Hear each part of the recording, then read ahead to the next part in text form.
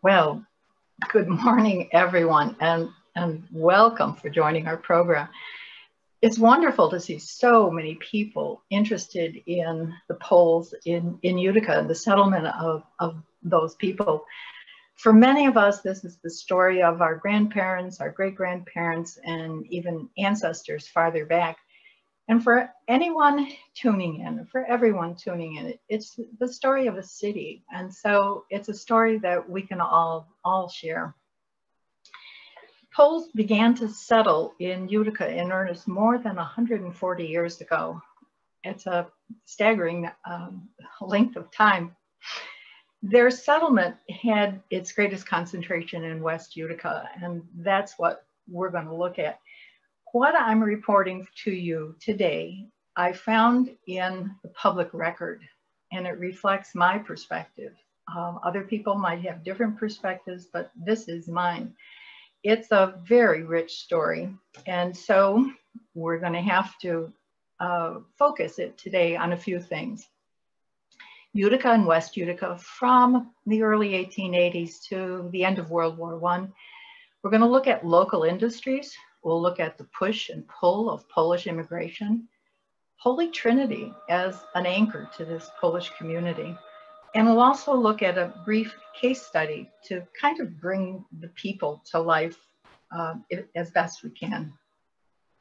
Now, it's very important to know that, or we, to understand the Polish settlement, we have to look back to Europe because that affects what happens here in the US. Poland lives in a very tough neighborhood. In the 1700s, it had a weak government and strong neighbors, Russia, Prussia, and Austria, and they devoured it. So that by 1795, Poland as a separate country no longer existed. The Poles, however, continued to live where they were. If they lived on the land that was now Prussia, they were Prussian citizens. If they lived in the Russian sector, they were now Russian citizens. And as you can see from the map, Russia had the biggest piece of territory. Partitions meant differences. As I mentioned already, if you were a citizen of Prussia, Russia, or Austria, you were a citizen of those countries. The laws in those empires differed, as did the policies and practices, and even the official languages. If you lived in Prussia or Austria, you now had German as your official language. In Russia, Russian was the official language. But at the same time, the vernacular languages continued to be used. So if you were Polish, you spoke Polish. If you were Ukrainian, you spoke Ukrainian, and so on. Latin remained the language of the Roman Catholic Church for liturgy and for keeping the, the, val, the uh, vital records, the births, the marriages, the deaths, so that if you do family history and you use the Polish sources, you'll see often, depending on where your ancestor came from, you'll see those records are in Latin. Cultural tolerance um, differed. um, in Austria, the Poles were reasonably well tolerated, and sometimes Polish uh, culture was even supported. In Russia and Prussia, not so. Europe in the 20th century was uh, a continent in transition. In the West, the Industrial Revolution was in full, full blown. So that they were building factories and developing technologies. They were building transportation systems. Um, canal networks came first and then railroads, which they moved from west, which developed from the prosperous and developed and richer west to the less developed, the agrarian and poorer east. That is where the Poles lived. Social change also occurred during the century. There was a move from the farm to the city where people worked in the factories. The working conditions were not terribly good and the living conditions were probably, were often worse. Our most important or focus is on the abolition of serfdom. Prussia abolished serfdom in 1807, very early. Austria had abolished it by law in 1791, but the practice continued to mid-century, more or less. In Russia, Russia was late, didn't abolish serfdom until 1864. Now, what serfdom did, it was both an economic and a social system. The peasants, who were the greatest number of people in these places, um, they lived on the land, they worked the land, but they did not own it. They worked it for the nobility. When you work for somebody else and the, the bulk of your product goes to their benefits, you can't develop um, wealth very easily. So the peasants were quite poor. When serfdom ended, they could now own land, but it came with a lot of debt. They already paid very high taxes. And though they could move, now they could move if they were able. Leaving ancestral lands was not very easy at all. So the century saw several big waves of emigration. We know about the Irish, more than a million came to the US after the potato famine. Revolutions in Europe, which failed, sent a lot of German Catholics to the US, including to Utica, and they settled around St. Joseph Church. And in, in the 20 years, 1870, 1890, Prussian policy became even more severe, so that Polish culture, religion, education was pretty much repressed. Those Poles in Prussia then began to come to Utica. There were factors uh, across the partitions that propelled Polish immigration, regardless of the empire. Poverty, first and foremost high taxes. The population was growing.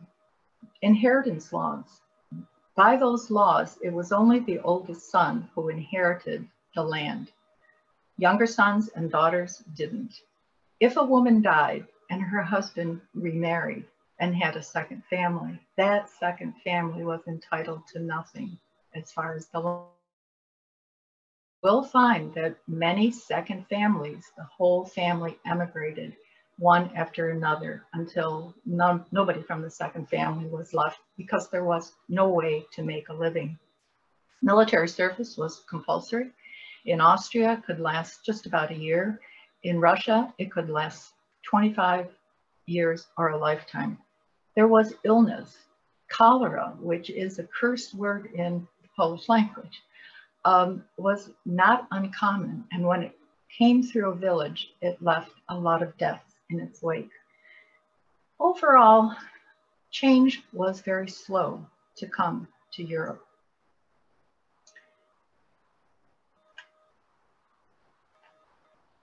And now I can't get it to move forward. Okay, so who left? And here's a generalized profile from many, many searches that I've done um, looking at immigration, immigrants. They were farmers. They lived in rural areas people from the big cities generally didn't leave. They came from small villages. They were used to working the land with um, manual labor. Some had crafts, some were cobblers or bakers or tailors. Overall, the family was an economic unit. Everyone, every generation had to contribute. If you didn't work, you didn't eat. Fairly simple. Not surprisingly, a lot of the immigrants were single, males and females, oh, roughly between the ages of 15 and 30. These were the people who didn't have a lot of responsibilities. They had energy. They were willing to take a risk, and um, they did. Married people did come. They tended to be younger married people with not a lot of children. Now, all of these are generalizations. Husbands usually came, or often I should say, came first, worked in a factory, made money, sent it back, so that the wife could come.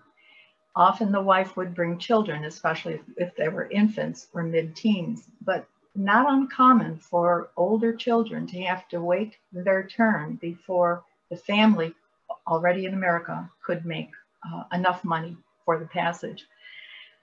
Rarely did any of these immigrants travel alone. They were with cousins or relatives or certainly people from the village or the next village.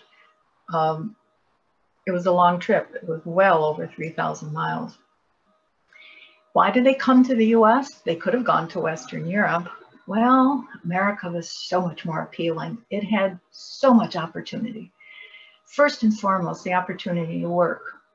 With money that they earned from work, they could afford families, they could buy property, they could be healthy, they could avoid war. They had relatives who went ahead, who sent money for the for the journey, gave them a place to live, helped them find a job um, they had a community to come to. Also, a factor is that this was a systematized process. It wasn't haphazard, it wasn't random. Many of the uh, textile mills in New England sent recruiting agents into the villages uh, to tell them how good work was here, that they would have, they could earn money and they would have a place to live and the work was clean and it was good. Also important was that there was scheduled, reliable, affordable transportation from the nearest railroad. Remember, the railroads are building generally from the west to the east. And as it came through the villages, it made leaving so much easier. You got on the train, and when you got off, you entered the ship. Usually it was either Bremen or Hamburg. You sailed across the sea and you were processed very efficiently at the US seaports. It, didn't take long. The seaports processing was very quick. And then you had transport with, within the US. Utica had a lot of appeal.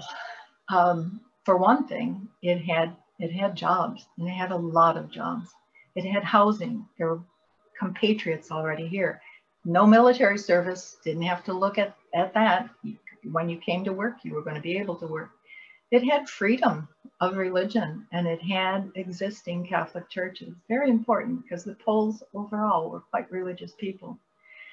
It was a tolerant country. Um, it wasn't that the Poles could could come without being mocked. I mean, they wore strange clothes and they had strange haircuts and they certainly spoke a very strange language.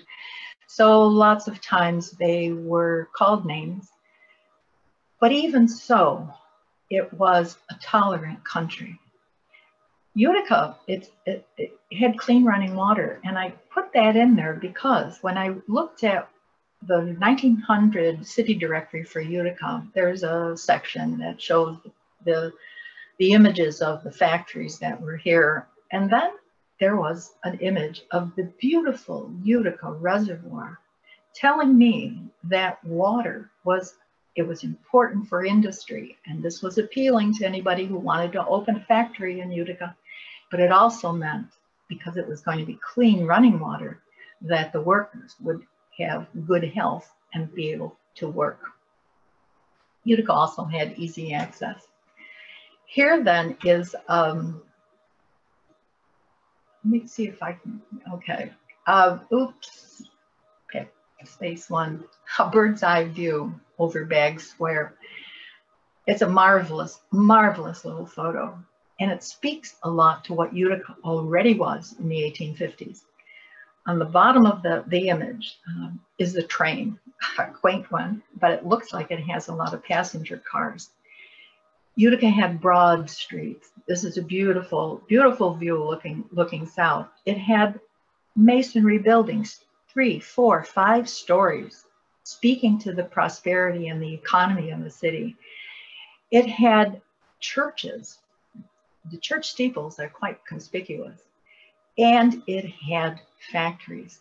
I think I counted 11 big smokestacks spewing out. I mean, it had dirty air too, by the looks of it. I'm sure one of those, uh, several of those smokestacks are uh, found in East, and rather in East Utica. Yeah, they are in East Utica, but also in West Utica. In the early 19, in the early 20th century, the Erie Canal was still being used. You can see from the uh, cargo um, barges um, moored next to what are no doubt warehouses. On the left of that image, you can see the mules which haul the barges. The canal wasn't very deep. It was what, four feet deep, five feet deep. It wasn't very deep at all. It was no longer used so much for passengers because you had the train. It was used for cargo. Utica also had a beautiful uh, shopping district, very broad street, uh, speaking to um, a, a, good good vista for the city. Um, yes, horse-drawn carriages were still being used, but in the distance is a trolley because Utica already had a trolley line. Utica had industry, the metal industries, um, Bosserts, International Heater, Savage Repeating Arms, the gun manufacturers, Utica Cutlery, where all kinds of cutting um, implements were made. Utica Drop Forge, already in 1900, Utica Drop Forge was here. Utica Steam Engine and Boiler Works, the place where they made the heavy duty boilers and heaters and heavy equipment for the other industries in the city. Utica had textiles, and that's probably even more prominent than any other industry in Utica were the textile mills at this time. I made a list, again, this is from the city directory in 1900, um, of the ones in East Utica. Um, that was all that I could fit on the screen.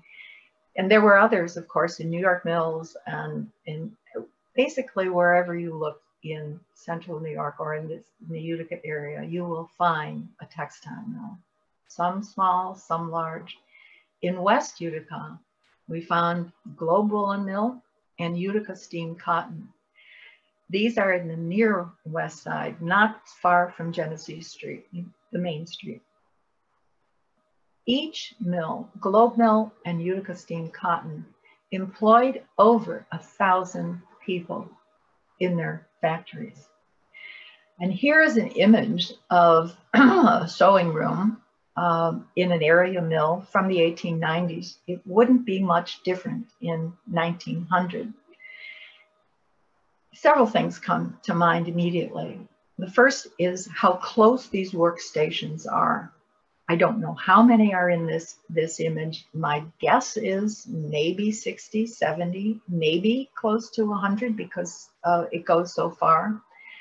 All of the work workers sitting at the sewing machine are women. In some ways, this makes a lot of sense because women sew for their own uh, clothing. So working in a factory was not going to be that much different. And working a sewing machine would not have been a terribly uh, difficult machine to, to learn how to use. All their hair is, is pulled back or put up into um, um, coiffures um, as a safety hazard. You don't want long hair caught in a sewing machine. And there were accidents, there were industrial accidents in the textile mills. The women are dressed in uh, nice blouses. Almost all of them are white, which suggests to me that um, they knew the photograph was going to be taken and they were urged to wear their best, uh, which they did. The other thing which, um, of course, stands out is the men standing on the side, no doubt the supervisors or even some of the mill administration. Young women coming from Poland when they came as single women could easily find jobs in the textile mills, and they did. Young single women uh, came here and came um, quickly to work. This map shows the placement of these mills. Starting at the top of the, mill, of the map is the Erie Canal, and north of that, not too far, but outside this map, is the railroad this is early where the early, early Poles settled because this was more or less the low rent district. And as they earned money and as housing became available, they would move down the map. Next came on the left, St. Joseph Church. Already the Germans were living in this area and um, this was the German church Yes, the liturgy would be in Latin, so the Poles would be comfortable. The language that the people would be speaking was German. You're coming from Prussia, where German, you're used to German. You could speak with them. You understood what they were saying. It was a natural place for the Poles to settle. And again, if you do any family history, you will find the early Poles uh, married, were baptized, and unfortunately, some of them did die and they were buried um, in the St. Joseph Cemetery, which at this time was just north of the church. On the east side of the map, and this would have been maybe four or five blocks west of Genesee Street, is Utica Steam Cotton, running three blocks here. Spring Street is noted. The workers who worked here as well as later or farther west in the Globe Mill would live in these dense, densely populated or housed. Housing was very densely uh, sited. To the west, four blocks, I think it is, Globe Mill um, is, is visible, taking up almost a whole city block as well. 1880, the Poles begin to arrive in numbers, if, as we've noted. Um, the first one that I found on the page really was Valenti Dresa. Um, most of us would be familiar with that name because eventually Valenti established an, uh, a funeral parlor. He was called an undertaker. He was born in 1870, arrived in the mid 1880s. He was no more than 16 years old when he came. The woman he married, and they married in St. Joseph Church, arrived in 1889. Excuse me, both of them were from Posen, which is, uh, we now know as Poznan. It was in the uh, Prussian Empire. Uh, others who were associated, yes, Valenti in the 1893 city directorate all the way through to 1900 is listed as a weaver. And where does he live? He lives on Spring Street within walking distance of Utica Steam Cotton. But it was also within walking distance of Globe Mill. So we don't know where he worked.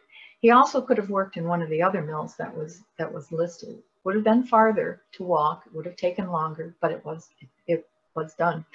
The other people on here, Valentine, uh, Valenti in Polish, Wojciechowski, and I'm sure this is a relative, possibly even a brother, Frank, both from Prussia, both arrived in 1889, both working in the textile, um, with, with textiles. The only one who was a laborer in this period was John Sandowski, who lived on Water Street, and Water Street was close to the canal.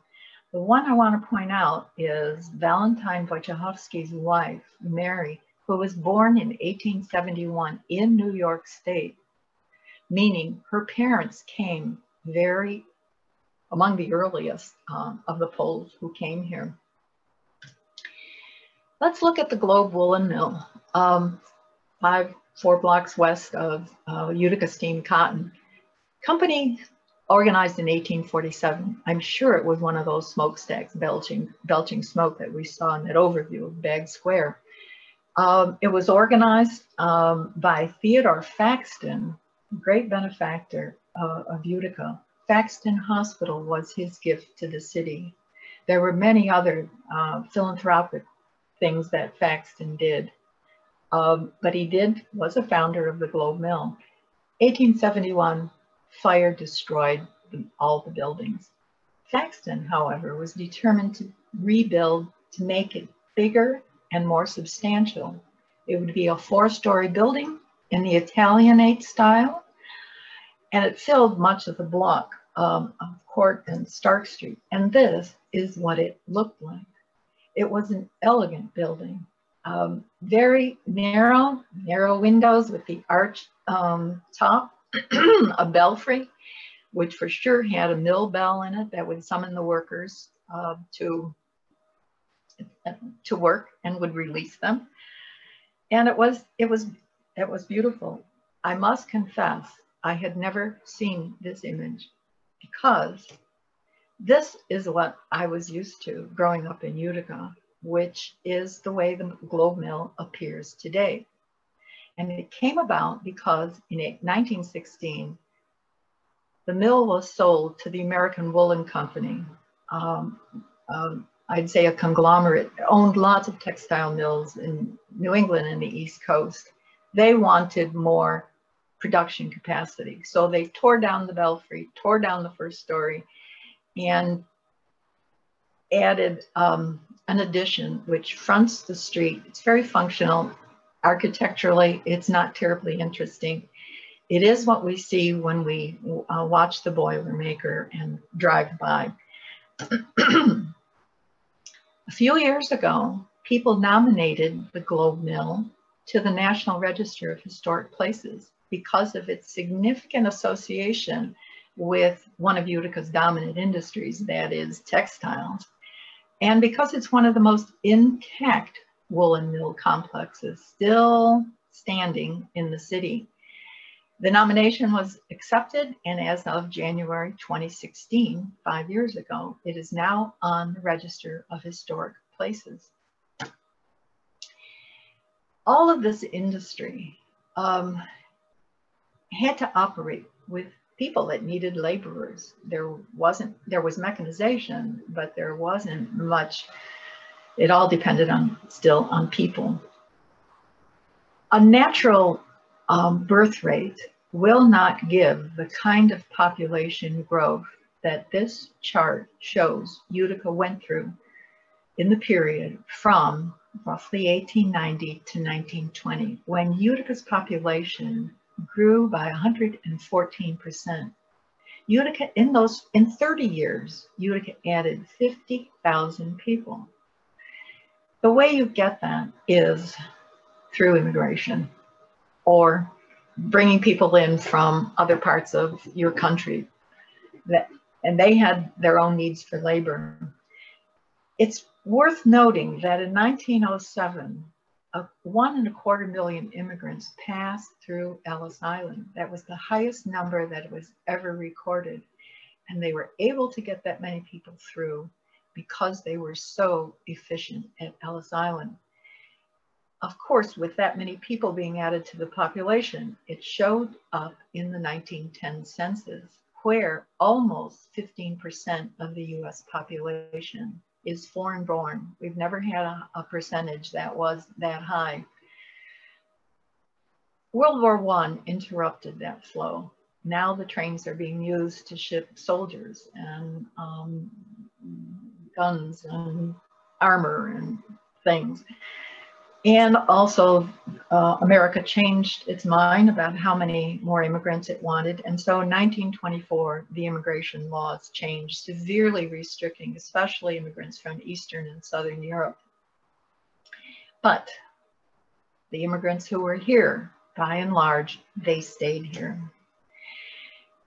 with the numbers that had grown, they stayed largely on the west side for practical purposes. If they were working in, especially the textile mills, they were going to be able to walk to work. There were Poles already in the area. They could speak their language. The, the, the things that we went over as to why Utica was so um, popular or had such appeal. In 1889, still attending church at St. Joseph's, um, a dozen or so of them established um, an aid society named after their favorite Polish saint, Saint Stanislaus the bishop.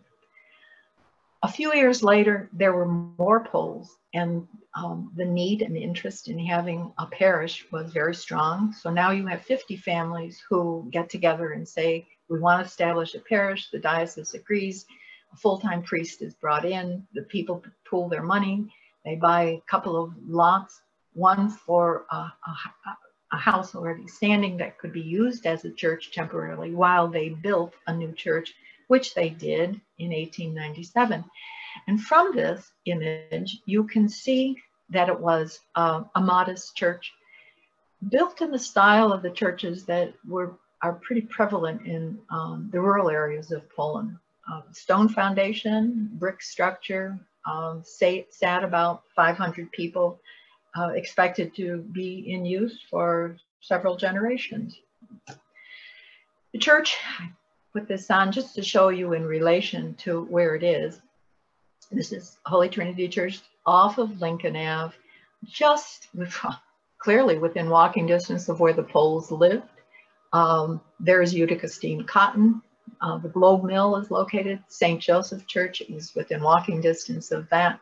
And all of this area um, where the Poles lived.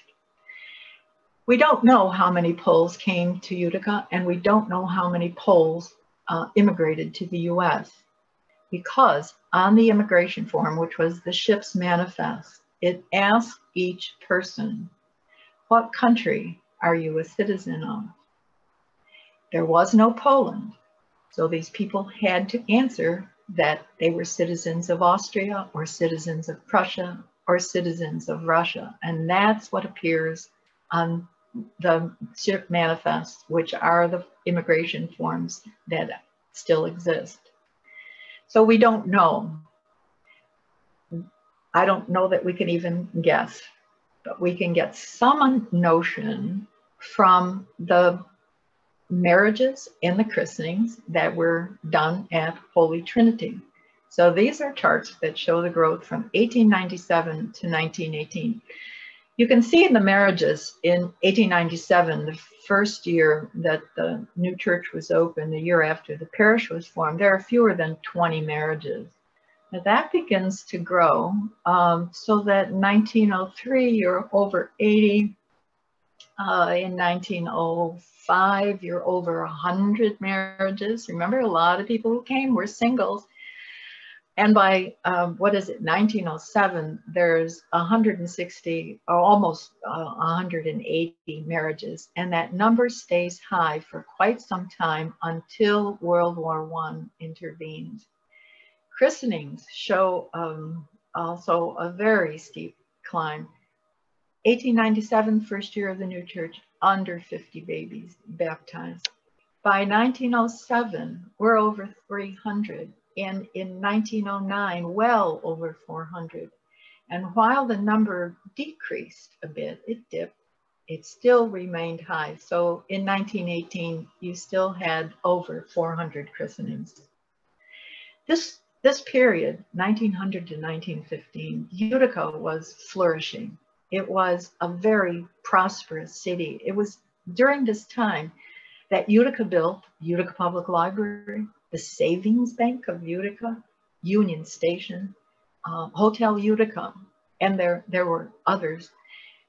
And these buildings make a, a very strong and definitive statement that Utica was prosperous. Utica saw itself devoted to culture and work and transportation and uh, economy, savings, uh, it's, a marvelous statement. These buildings, which still exist and for which we have to be very thankful that they were preserved.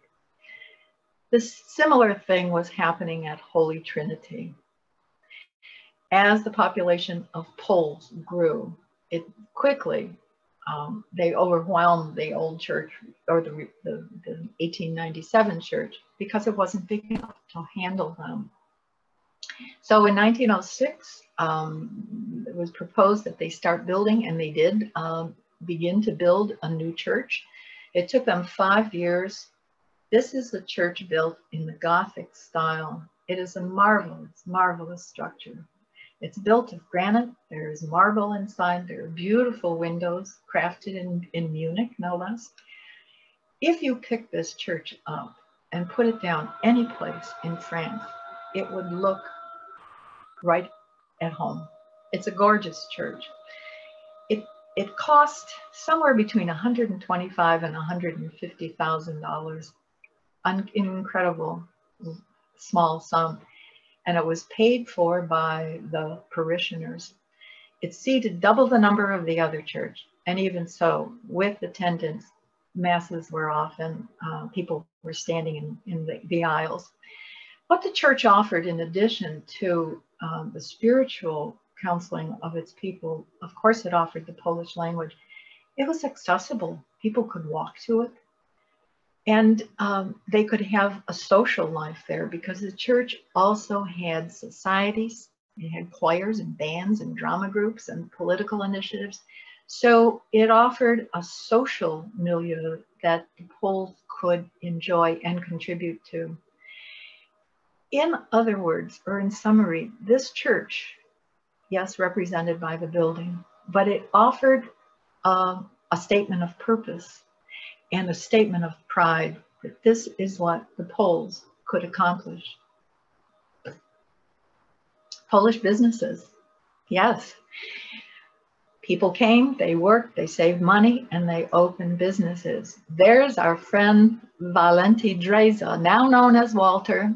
This is 1912. He's no longer a weaver in uh, the textile mills. He's a photographer. Hmm. He has his studio and I believe his house on Lincoln Ave, where the Drezas uh, lived for many, many years, um, decades really. Frank Koster, the furniture dealer, also had a place on Lincoln Ave. Shotko had a bakery. Vladislav Tarchinsky was a real estate agent.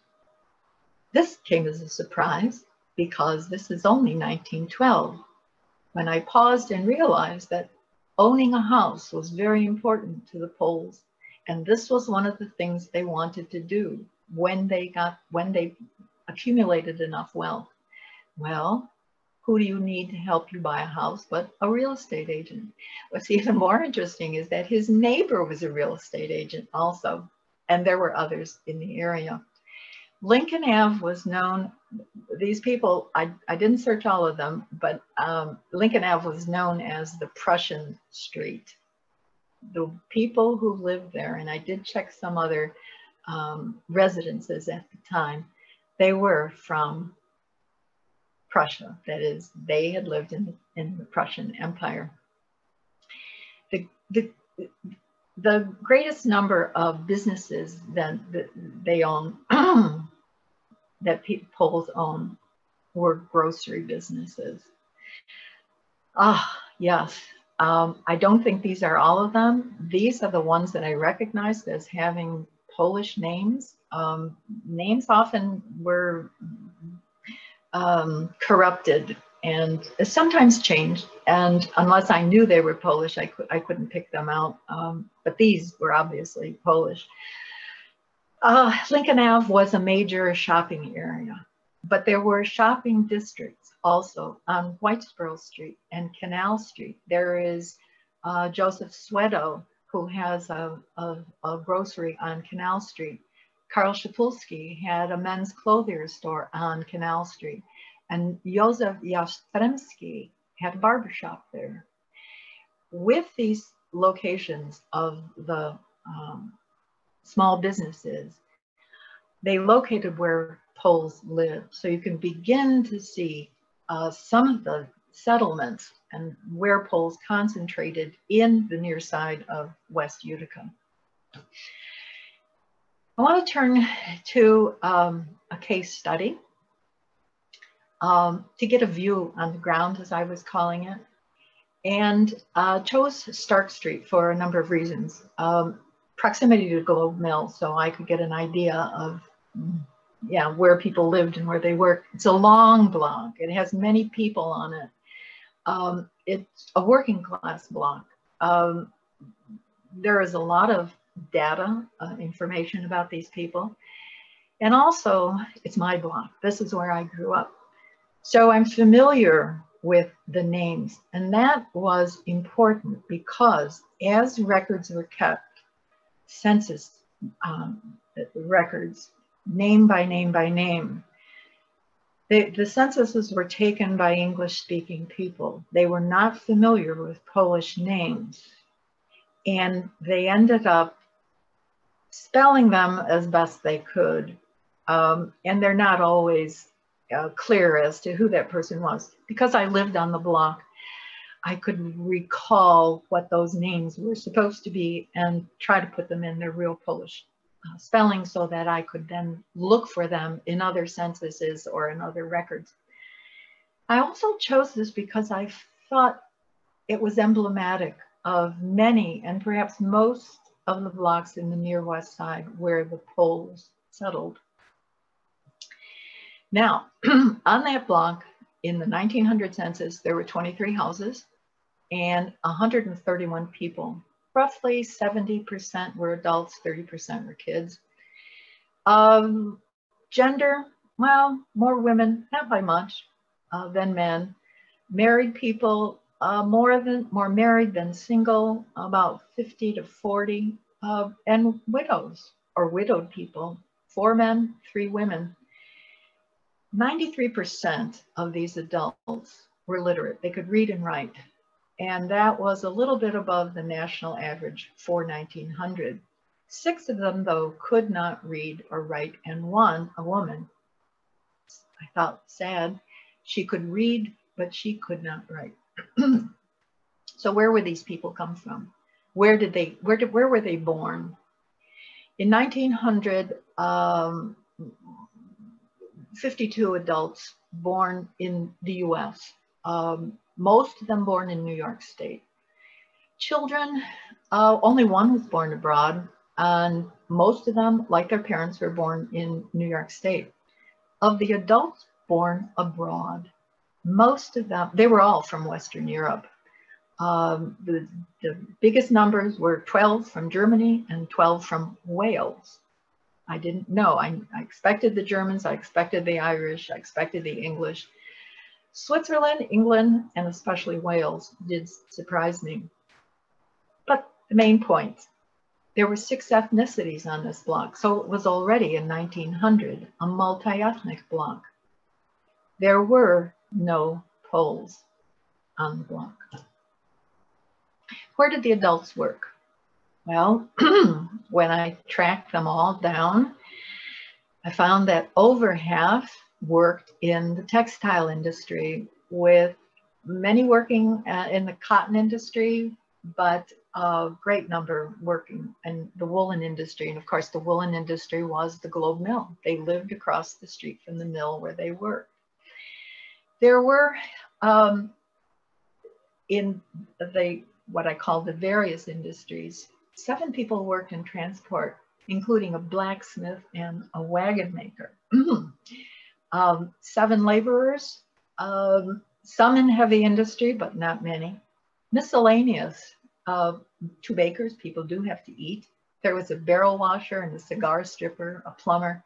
The servant was a woman. Somebody on the street actually uh, had a servant.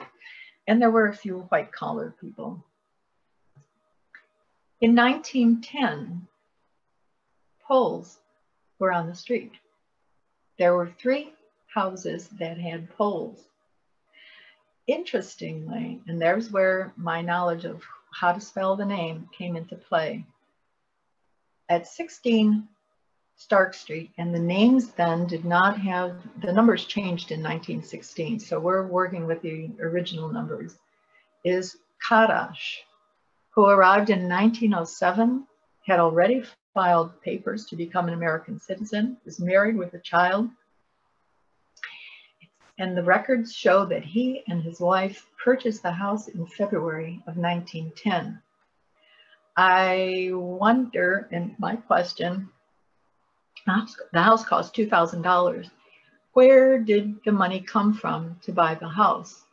Did the two of them had the two of them already, both husband and wife, saved enough money to buy the house, or did they have a mortgage? If they had a mortgage, was it through a bank, or was it private? Were there other Poles who were loaning money so people could buy houses? These are questions that are buried in family history, and I'd love to know the answers to them. One of the ways that Poles uh, managed to have houses is that they would rent out rooms in the house. And as they accumulated money, they would add additions and be able to rent out even more space in the house because the house was so much bigger now. The person that Kadash rented their house to, uh, his name is Butler, but he came from Poland. Uh, and I, I couldn't figure that one out and I couldn't translate his name. I don't, I'm not confident that either name is correct.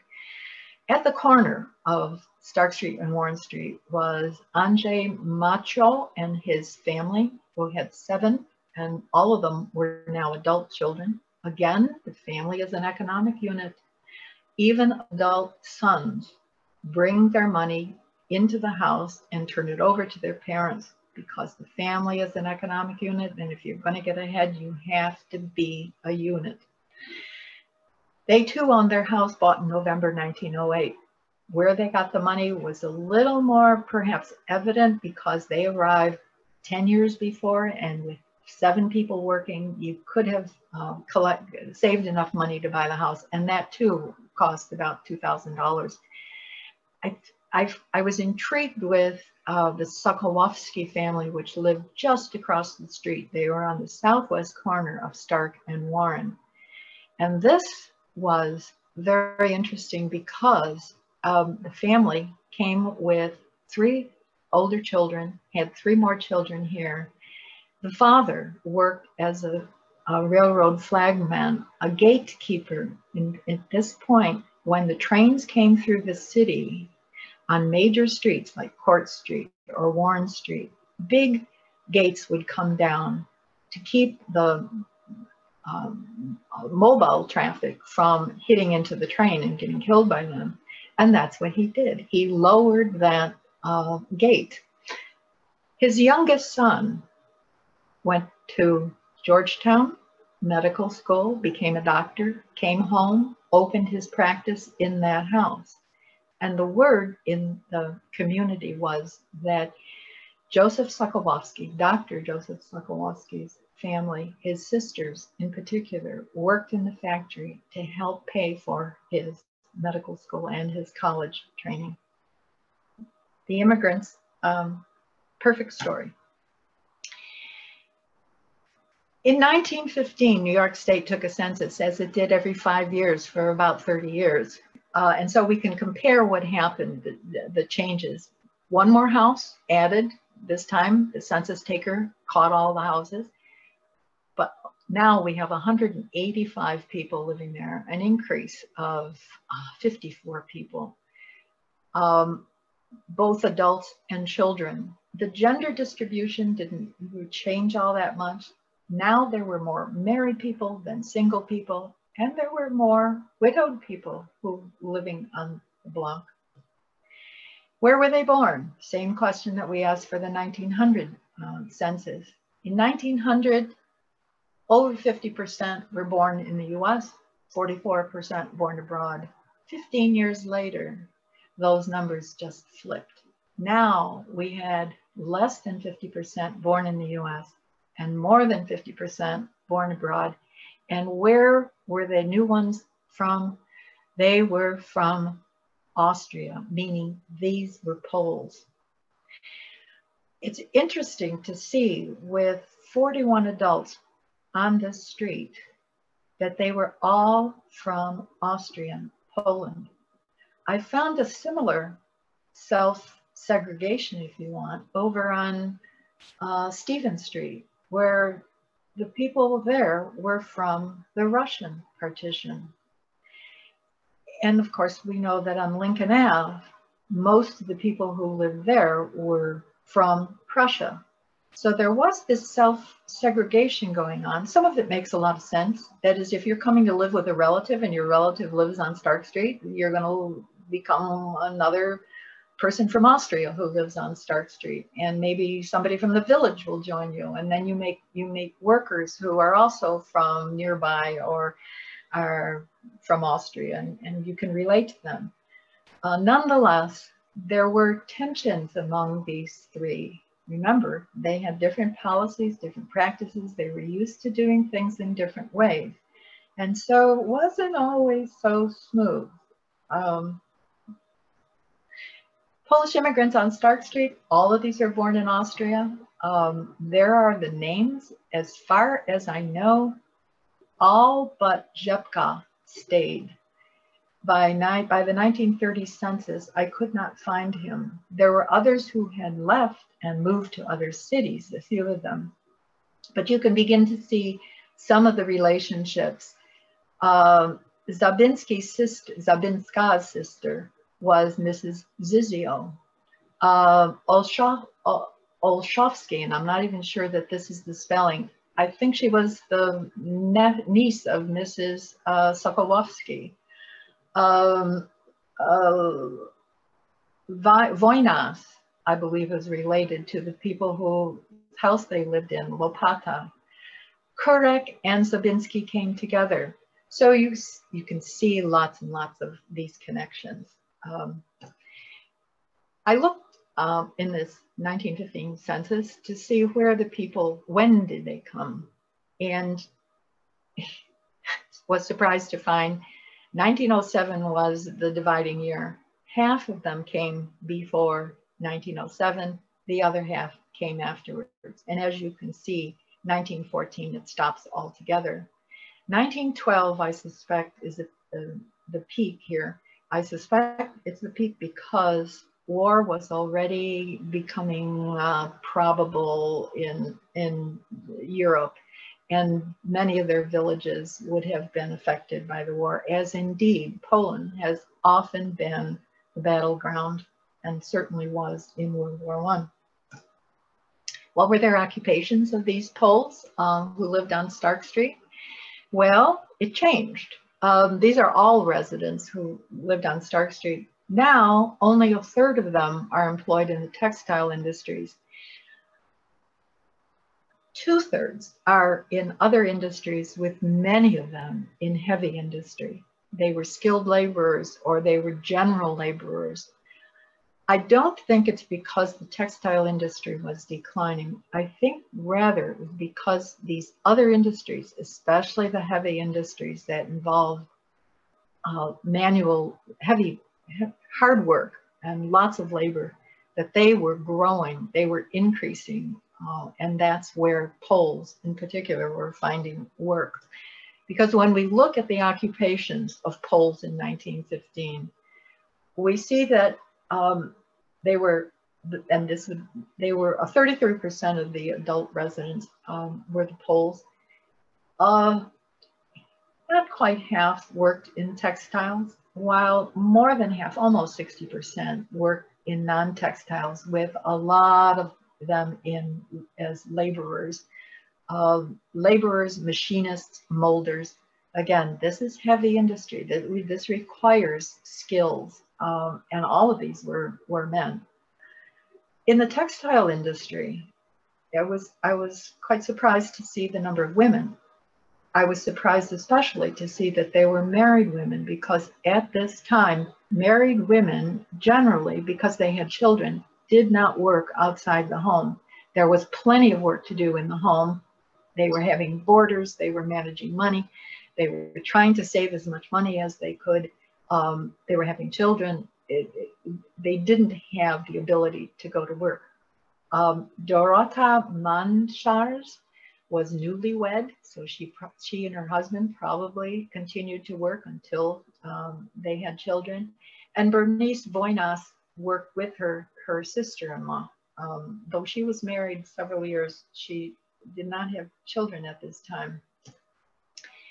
What else were the Stark Street Poles doing? Well, they were getting married, they were having children, keeping house, they were becoming citizens, they were saving money, and they were buying property. Here are the marriages that I found of the people living on Stark Street in 1915. I was frankly surprised that there were so many whose marriages I could find. This is new for New York State. Um, you couldn't find marriage records before. You can now. The county began to require marriage licenses around 1911. And these marriage licenses will give the home, the, where the person was born, it will give them their, it will give their current occupation and it will give not the marriage license, those are often misspelling of Polish names, but the certificate that the priest had to sign when the marriage was um, effected will give their correct Polish name because the priest knew how to spell it. They were these people who were married were having children. Um, 37% of the kids on the street were born of Polish parents, and they were all born in the US.